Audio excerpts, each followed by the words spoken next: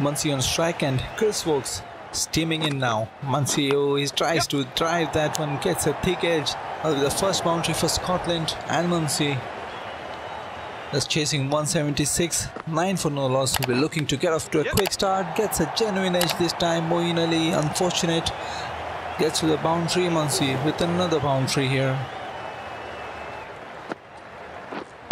Adil Rashid into the attack. Munsey sweeps it fine. Gonna be hard work for the fielder. He puts in a brilliant effort and saves a certain boundary there. Shuffles yep. and sweeps. This time a lot squarer. Not a single fielder outside the circle. And that with the third boundary. It's a good start for Scotland here. Oh, that is a gorgeous shot.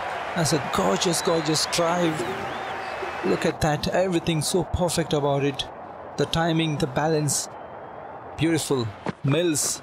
And he has been smashed. Oh, ho, ho, look at that. Goes at a rate of knots. He didn't even have the time to look back. Ah, As a smasher. And this yep. time, that is that is cheeky. Just scoops it to third man. It's another boundary.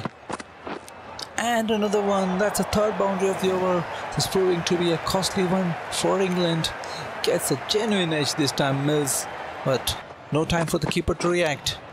Oh, this is this is out of the world. His exhilarating stuff, just beautifully guided touch play. Smashes this one, but not much of timing. Fielder coming in and cuts it off with a good dive, but they'll get three. Scotland 60 for 1. Munsey now 42 lifts it beautifully mid-on can't get to it as another boundary. He's dealing in boundaries and he's going after this score of England.